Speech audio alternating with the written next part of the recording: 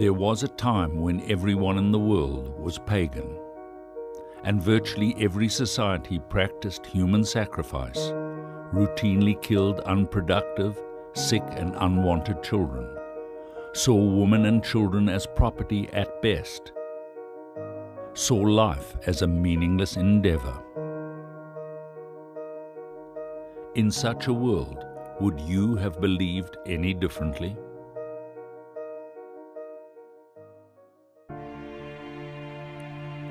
Remarkably, in this world of darkness, there was one man who came to a different conclusion.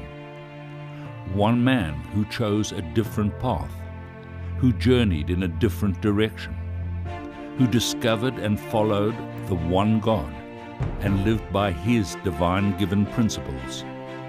Only one man, and his name was Abraham. And God made a covenant with him. Quote Thomas Cahill, The Gifts of the Jews.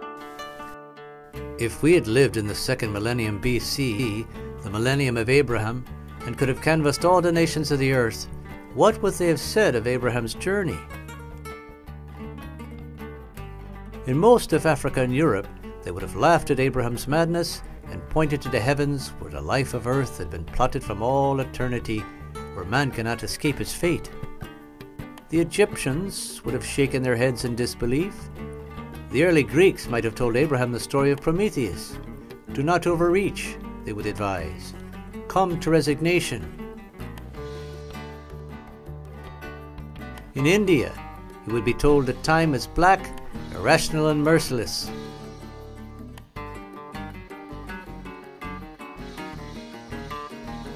On every continent and every society, Abraham would have been given the same advice that wise men as diverse as Heraclitus, Lao Tzu, and Siddhartha would one day give their followers. Do not journey, but sit. Compose yourself by the river of life. Meditate on its ceaseless and meaningless flow.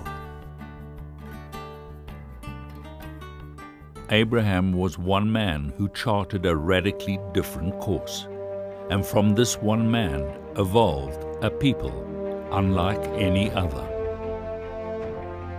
A people who cross paths with virtually every great civilization in history. A people whose history is unlike any other. A people whose impact on humanity is unprecedented. A people who are known to the world as simply the Jews. Over 3,300 years ago, an event took place that happened only once in human history. And that was an entire nation experienced and witnessed divine revelation at Mount Sinai. The giving of the Torah, the Ten Commandments, the five books of Moses, by God to the Jewish people, and through them to the world. What happened at Mount Sinai changed the world forever. For the first time in history, man had been given a divine moral compass, a guide for how to best live one's life, to perfect oneself and the world. In the ancient world, in the eastern part of the Fertile Crescent, also known as the cradle of civilization, is the Holy Land, the land of Israel. And there, for centuries, the Jewish people flourished and lived in peace. And then, because they did not live up to their divine covenant, the Jews faced destruction after destruction at the hands of their enemies. First came the Babylonians, then the Persians, then the Greeks, and finally, with all their fury, the Romans, who forced them into exile and dispersion. For over 2,500 years, Jews suffered persecution.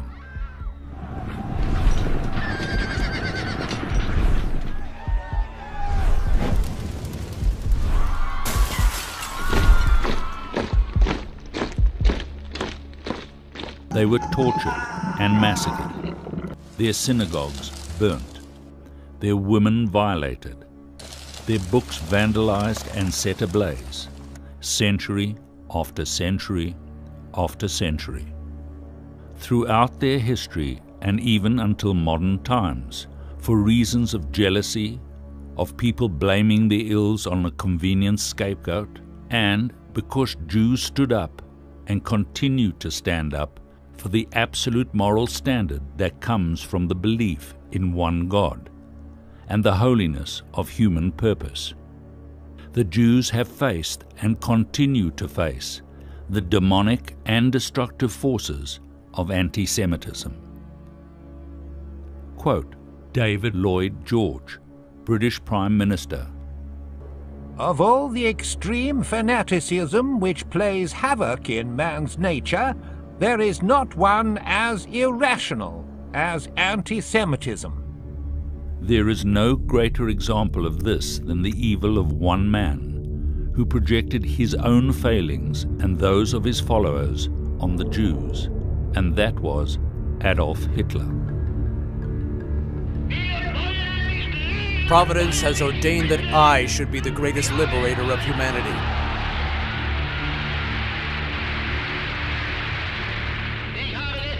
I am freeing man from a false vision called conscience and morality. The Ten Commandments have lost their validity. Conscience is a Jewish invention. It is a blemish. The heaviest blow which struck humanity was Christianity. Bolshevism is Christianity's illegitimate child. Both are the inventions of the Jew. The struggle for world domination is between me and the Jews. All else is meaningless. For over 2,500 years, since the first exile in 586 BCE, Jews were scattered across the globe like stubble in the wind. God will then scatter you among the nations from one end of the earth to the other. For over 2,500 years, Jews were driven out of their homes in country after country after country. But, despite the persecutions and even the unimaginable destruction of the Holocaust, sustained by their unswerving faith and trust in God and His Torah, throughout those 2,500 years, something remarkable happened the Jews not only survived, but flourished and changed the world.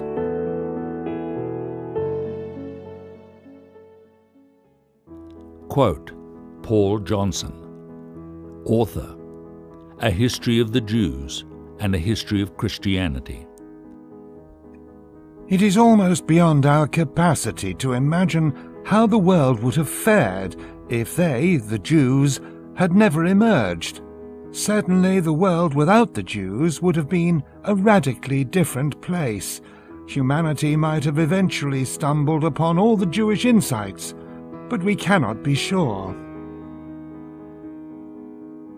To them we owe the idea of equality before the law, sanctity of life, dignity of the human person, social responsibility, peace as an idea, and many other items which constitute the basic furniture of the human mind. Without it, the world might have been a much emptier place.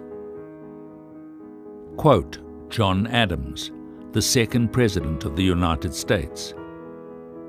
The Hebrews, the Jews, have contributed more to civilized man than any other nation. They have given religion to three quarters of the globe and have influenced the affairs of mankind more and more happily than any other nation, ancient or modern. Quote Woodrow Wilson, the 28th President of the United States. The laws of Moses contributed suggestions and impulses to the men and institutions, which were to prepare the modern world, and if we could have but the eyes to see, we should readily discover how much besides religion we owe to the Jews. One remarkable fact is that since Alfred Nobel first created his prize, over one fifth of all the Nobel Prizes have been awarded to Jews. Jews who comprise only less than one half of 1% of the world's population, and yet have received over 20% of the Nobel Prizes for the greatest scientific, social, economic, creative, and intellectual contributions to the progress of mankind. But it is not only in their pursuit of human excellence that Jews have contributed more to the world relative to their numbers than any other people throughout history. It's their passion for meaning, purpose, morality in life, and their respect for human dignity that Jews have always been, for good and for bad, at the forefront of change.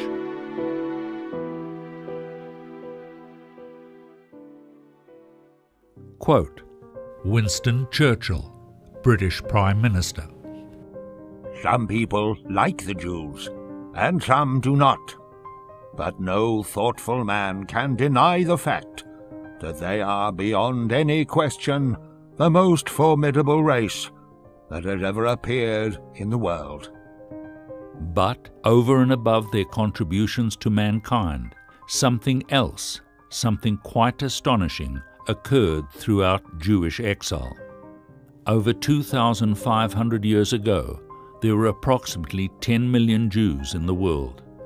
Today, there are just under 14 million. In comparison, 2,000 years ago, there were approximately 30 million Chinese in the world. Today, there are over 1.4 billion.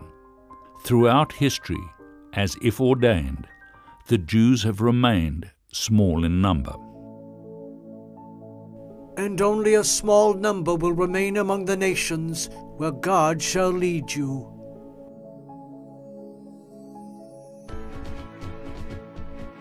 And throughout these 2,500 years of exile, something equally astonishing happened. The Jews never let their dream of returning to their God given ancient homeland. They never lost hope. They never stopped believing that one day their dispersion would end.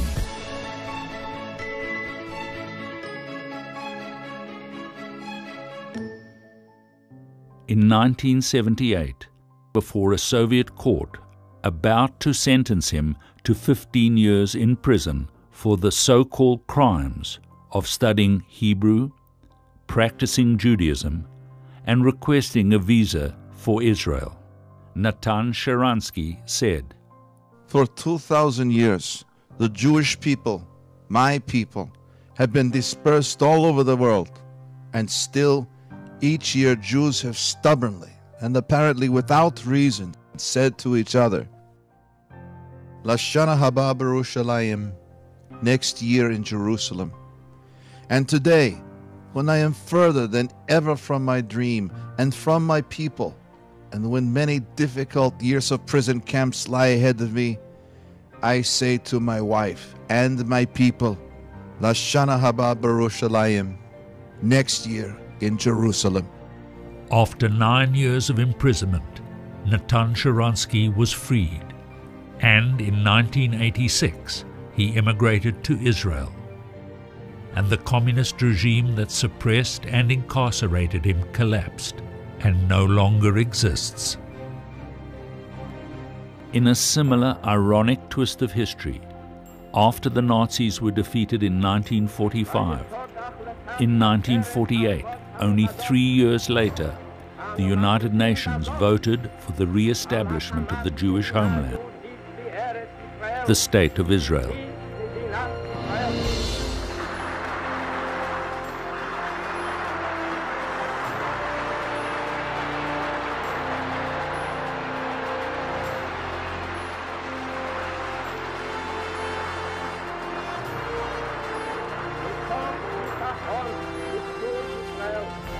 To date, after 2,500 years of dispersion to over 100 countries on five continents, the Jews are the only people throughout history to survive, retain their identity, and return not only once, but twice from exile to their ancient homeland.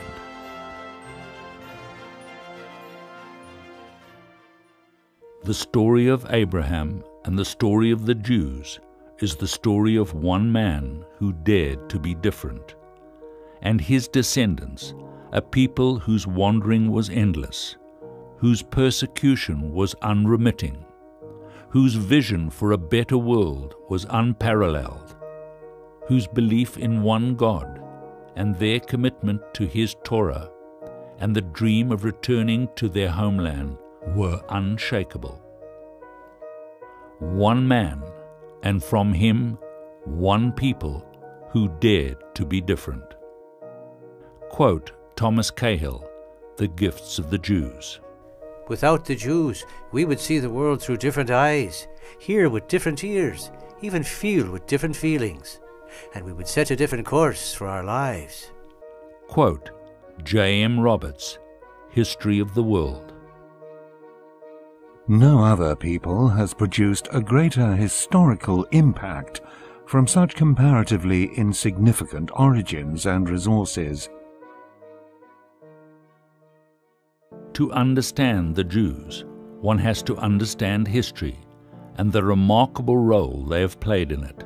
However, to understand how they have survived, despite all odds, one has to look past history into the world beyond the natural, into the realm of the divine.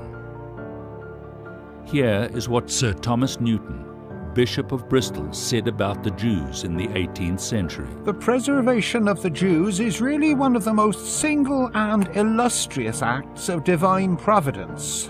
What but a supernatural power could have preserved them in such a manner as no other nation has been preserved, and no less remarkable is the destruction of their enemies. Let it serve as a warning to all those who, at any time or occasion, are raising a clamour or persecution against them. I will make you into a great nation, and I will bless those who bless you, and curse those who curse you.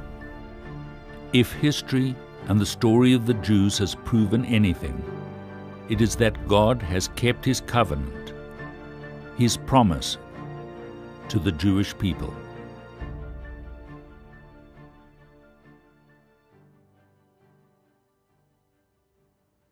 Here is a quote by Leon Tolstoy, the Russian writer, written in 1908. What is the Jew? What kind of unique creature is this whom all the rulers of all the nations of the world have disgraced, crushed, expelled, destroyed, persecuted, burned, and drowned, and who, despite the anger and fury of their oppressors, continues to live and to flourish? The Jew is the symbol of eternity. He is the one who, following the faithfulness of his ancestors, has for so long had guarded the prophetic message and transmitted it to all mankind. A people such as this can never disappear. Writing about the Jews in 1899, Mark Twain observed that The Egyptian, the Babylonian, and the Persian rose, filled the planet with sound and splendor, then faded to dream stuff and passed away. The Greek and the Roman followed and made a vast noise, and they are gone. Other people have sprung up and held their torch high for a time, but it burned out, and they sit in twilight now or have vanished.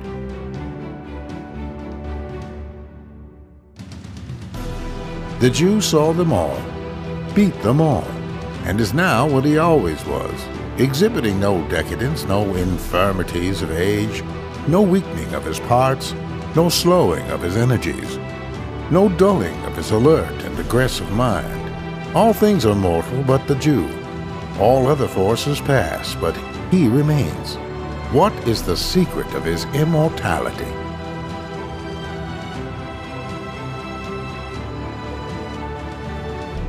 All things are mortal but the Jew. All other forces pass, but he remains. What is the secret of his immortality?